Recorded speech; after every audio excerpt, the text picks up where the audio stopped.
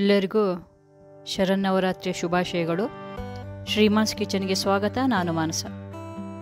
ಈ ದಿನ ನಾನು ನೈವೇದ್ಯಕ್ಕೆ ಅಕ್ಕಿ ಪಾಯಸ ಹೆಂಗೆ ಮಾಡೋದು ಅಂತ ತೋರಿಸ್ತೀನಿ. ಈ ಅಕ್ಕಿ, ನಾ ಇಲ್ಲಿ ಬಿಳಿ ಅಕ್ಕಿ ಒಂದು ಕಪ್, ಈ ಕಾಫಿ ಕಪ್ನಲ್ಲಿ ಇಷ್ಟು ತಗೊಂಡು ಅದನ್ನು ಚಂದ ತೊಳೆದು ಅದಕ್ಕೆ ಒಂದು ದೊಡ್ಡ ಕಪ್ ನೀರು ಹಾಕ್ಕೊಂಡು ಕುಕ್ಕರ್ ಮುಚ್ಚಳ ಮುಚ್ಚಿ ಎರಡು ವಿಜಲು ಕುಗ್ಸಿದ್ದೀನಿ. ಆಮೇಲೆ ಈಚೆಗೆ ಕಾಯಿ ತುರಿ, ಎರಡು ಕಪ್ ತಗೊಂಡು, ಅದಕ್ಕೆ ಏಲಕ್ಕಿ ಎರಡು ಹಾಕ್ಕೊಂಡು ನುಣ್ಣಗೆ ರುಬ್ಕೊಂಡು ಈ ಕಾಯಿ ಹಾಲು ಸೋಸಿ ಇಟ್ಕೊಂಡಿದ್ದೀನಿ. ಆಮೇಲೆ ಸೋಸೆ ಆದಮೇಲೆ ಇನ್ನೂ ಉಳಿದಿರುತ್ತೆ ನೋಡಿ, ಅದನ್ನು ಮತ್ತೆ ರುಬ್ಕೊಂಡು ಇನ್ನೊಂದ್ಸಲ ಕಾಯಿ ಹಾಲು ಸೋಸಿ ಇಟ್ಕೊಂಡಿದ್ದೀನಿ. ಆಮೇಲೆ ಇಲ್ಲಿ ಈ ಕುಕ್ಕರಲ್ಲಿ ಅಕ್ಕಿ ಬೆಂದಿರುತ್ತೆ, ಅದನ್ನು ಒಂದು ಪಾತ್ರೆಗೆ ಹಾಕ್ಕೊಂಡಿದ್ದೀನಿ ಅದಕ್ಕೆ ಮೊದಲು ಸೋಸಿ ಇಟ್ಕೊಂಡಿದ್ದು. ಈ ಕಾಯಿ ಹಾಲು ಹಾಕಿ ಒಂದು ಮೂರರಿಂದ ನಾಲ್ಕು ನಿಮಿಷ ಕುದಿಸಿದ್ದೀನಿ.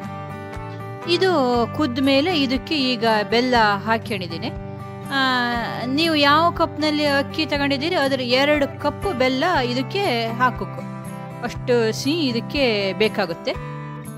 ನೋಡಿ, ನಾ ಇಲ್ಲಿ ಬೆಲ್ಲ ಹಾಕೊಂಡು ಇನ್ನೂ ಒಂದು ಹತ್ತು ನಿಮಿಷ ಕುದಿಸ್ತೀನಿ ಈಗ. ಈ ನವರಾತ್ರಿಯಲ್ಲಿ ದೇವಿನ ಆರಾಧಿಸೋ ಈ ನವರಾತ್ರಿ ಮೊದಲೇ ದಿನ ಮಾರ್ಕಂಡೇಯ ಋಷಿಗಳು ಬರೆದಿರುವ ದುರ್ಗಾ ಸಪ್ತಶತಿ ಗ್ರಂಥದಲ್ಲಿ ದೇವಿ ಹೆಸರಲ್ಲಿ ಮೊದಲೇ ದಿನ ಆಕೆ ಶೈಲಪುತ್ರಿ ಆಗಿರ್ತಾಳೆ. ಅಂದರೆ ಭೌತಿಕತೆ ತ್ಯಾಗ ಮಾಡಿ ಆತ್ಮಧ್ಯಾನವನ್ನು ಪಡೆಯಲು ಪ್ರವೃತ್ತ ಆಗೋವಳೆ ಶೈಲಪುತ್ರಿ. ಈ ದಿನ ನಾವು ಆಕೆಯನ್ನು ಆರಾಧಿಸಿದ್ರೆ ಆರೋಗ್ಯ ಭಾಗ್ಯ ನಮಗೆ ಪ್ರಾಪ್ತಿ ಆಗುತ್ತೆ. ನೋಡಿ, ಈಗ ಈ ಎರಡನೇ ಸಲ ಕಾಯಿ ಹಾಲು ತೆಗೆದು ಇಟ್ಕೊಂಡಿದ್ದೆ ಅಲ್ಲ? ಅದನ್ನ ಇದಕ್ಕೆ ಹಾಕಿ ಒಂದೇ ಒಂದ್ಸಲ ಕುದಿಸ್ತೀನಿ ಅಷ್ಟೇಯ ಮೇಲೆ ಇದನ್ನೊಂದು ಪಾತ್ರೆಗೆ ಹಾಕ್ಕೊಂಡು ಇದಕ್ಕೆ ಒಗ್ಗರಣೆ ಸೌಂಟಲ್ಲಿ ತುಪ್ಪ ಒಂದು ಚಮಚ ಹಾಕ್ಕೊಂಡು ಇದಕ್ಕೆ ದ್ರಾಕ್ಷಿ, ಗೋಡಂಬಿ, ಖರ್ಜೂರ, ಲವಂಗ ಹಾಕ್ಕೊಂಡು ಇದಕ್ಕೆ ಕರೆದು ಹಾಕ್ಕೊಂಡಿದ್ದೀನಿ ಸ್ನೇಹಿತರೆ, ನೋಡಿದ್ರೆ ಅಲ್ಲ, ಅಕ್ಕಿ ಪಾಯಸ ಮಾಡೋದು ಹೆಂಗೆ ಅಂತ? ನೈವೇದ್ಯಕ್ಕೆ ಭಾಳ ವಿಶೇಷ ಈ ಅಕ್ಕಿ ಪಾಯಸ. ದೇವಸ್ಥಾನದಲ್ಲೂ ಕೂಡ ಇದನ್ನ ನೈವೇದ್ಯಕ್ಕೆ ಎಲ್ಲ ಕಡೆ ಮಾಡ್ತಾರೆ.